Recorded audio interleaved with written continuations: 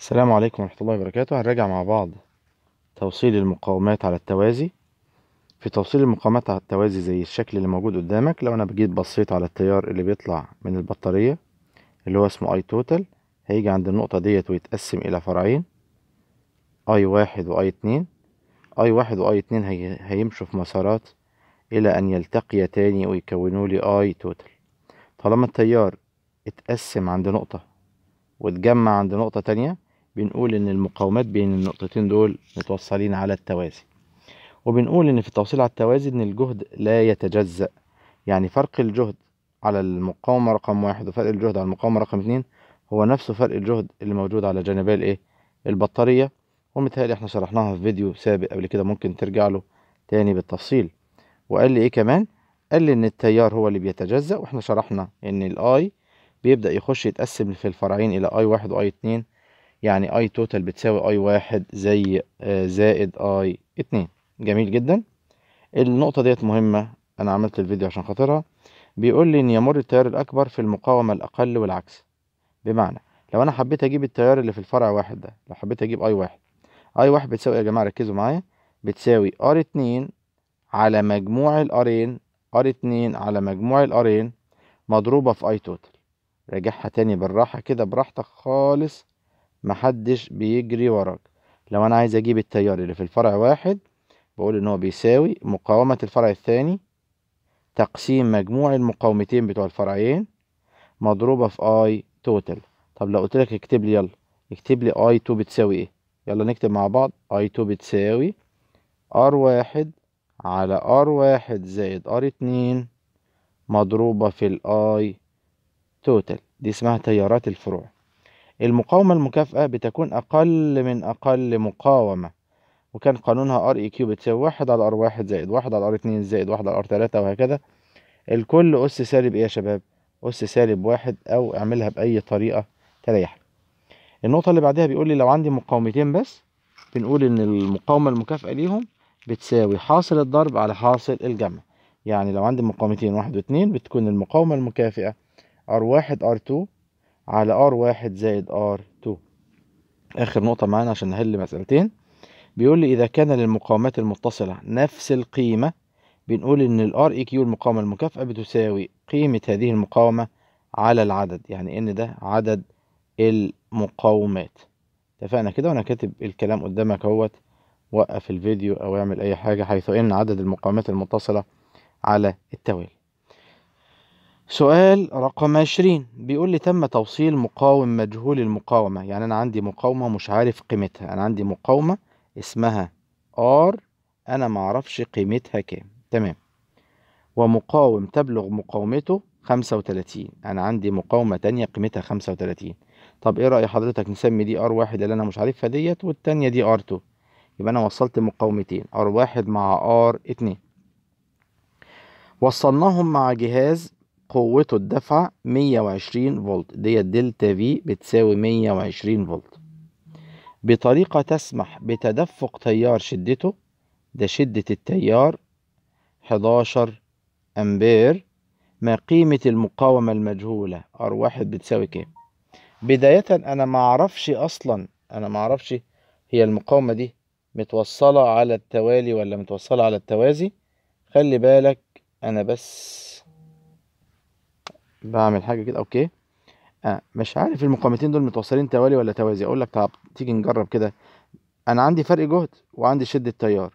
أقدر أجيب R eq ولا لأ؟ أقدر أجيب R eq بتساوي delta V على I هتساوي مية وعشرين على حداشر.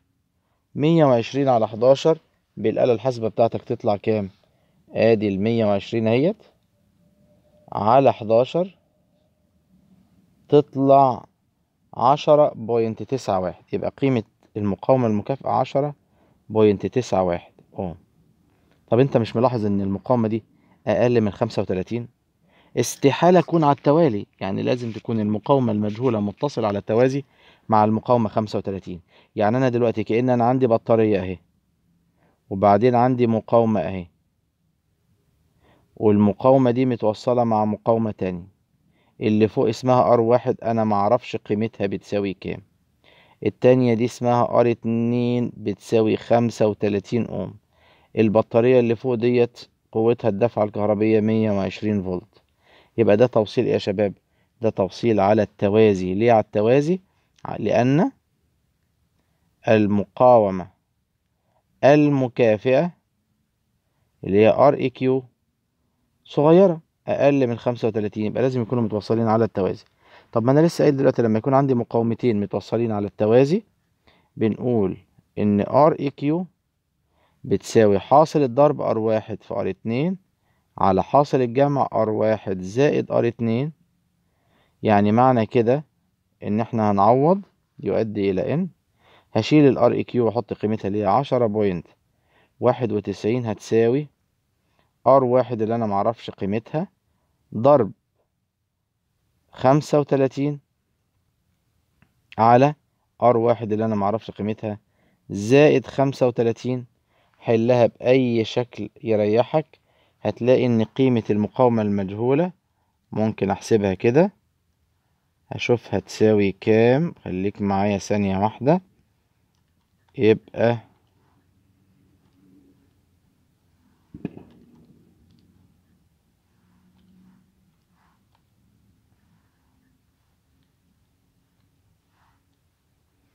يبقى قيمة هذه المقاومة خمستاشر بوينت تمانية خمسة. يبقى قيمة المقاومة اللي راكبة اللي أنا مش عارف قيمتها R واحد بتساوي خمستاشر point تمانية خمسة أوم.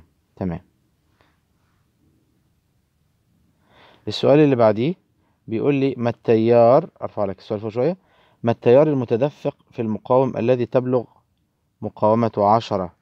التيار اللي ماشي في العشرة ده التيار اللي طالع هنا كده اللي هيعدي في العشرة ده بالمناسبة ده اسمه I total يعني كأنه بيقول لي عايز ال I total قيمته كام؟ طيب مش أنا عندي المقاومتين دول متوصلين إيه دول؟ متوصلين على التوازي صح كده؟ أيوه متوصلين على التوازي. يعني لو أنا حبيت أجيب المقاومة المكافئة بتاعتهم هنقول إن هي قيمتهم على عددهم. يعني تعالى نسمي كده المقاومات نسميها بالأسامي بأي حاجة. أدي هذه R واحد هذه R اتنين هذه R تلاتة. ال R بدل اتنين وتلاتة هتساوي R على N هتساوي R على N هتساوي عشرين على اتنين هتساوي عشرة أوم. يبقى أنا هشيل المقاومتين دول وأعمل بدلهم مقاومة عشرة أوم لأنهم متوصلين على التوازي. يعني الدايرة هتبقى بالشكل دوت يا شباب. يبقى أنا عندي هنا كده مقاومة اسمها R واحد بتساوي عشرة أوم. وعندي هنا كده مقاومة. برضو قيمتها عشرة أوم اسمها R اتنين تلاتة. وعندي بطارية هنا إيه؟ ستين فولت. تمام. طبعا أنت شايف المقاومتين دول متوصلين مع بعض على التوالي التيار اللي معدي فيهم لا يتجزأ. يعني معنى كده متوصلين على التوالي يبقى ال R EQ خلاص ال R EQ بتساوي مجموعهم يعني بتساوي عشرة زائد عشرة يعني هتساوي عشرين اوم. تمام. جبت ال R EQ تقدر تجيب ال I total ولا ما تقدرش؟ I total تساوي delta V على R EQ هتساوي ستين على عشرين هتساوي تلاتة أمبير.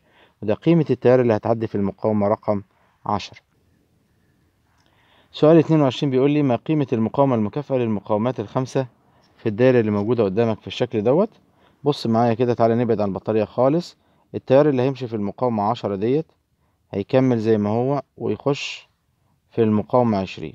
يعني معنى كده المقاومة عشرة والمقاومة عشرين متوصلين مع بعض على التوالي. على التوالي يعني المقاومة المكافئة بتاعتهم بتساوي مجموعهم. يعني عشرة زائد عشرين بتساوي تلاتين. يعني أقدر أشيلهم وأحط بدلهم مقاومة كام يا شباب؟ مقاومة تلاتين. هيبقى الشكل موجود معايا كالتالي. أنا عندي هنا كده مقاومة خمسين زي ما هي محدش جه جنبها خالص. وأدي البطارية بتاعتنا. برضو محدش جه جنبها. هنا في مقاومة أربعين. وبعد كده كمل الفرع ده كله.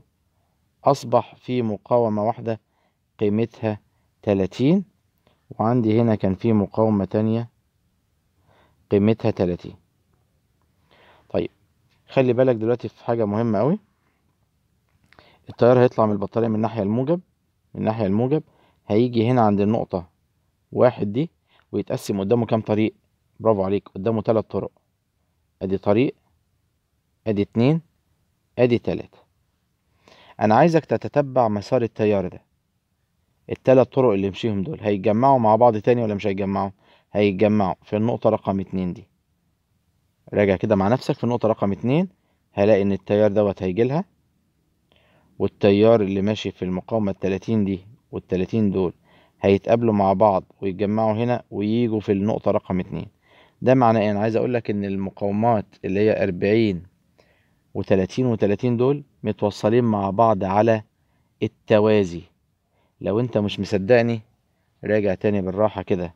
يعني المقاومة المكافأة بتاعتهم هتساوي واحد على تلاتين زائد واحد على تلاتين زائد واحد على أربعين الكل أس سالب واحد المقاومة المكافأة بتاعت التلات مقاومات دول عشان متوصلين مع بعض توازي. يطلع كام المقاومة المكافأة ليهم؟ هتساوي عشرة بوينت تسعة واحد أوم.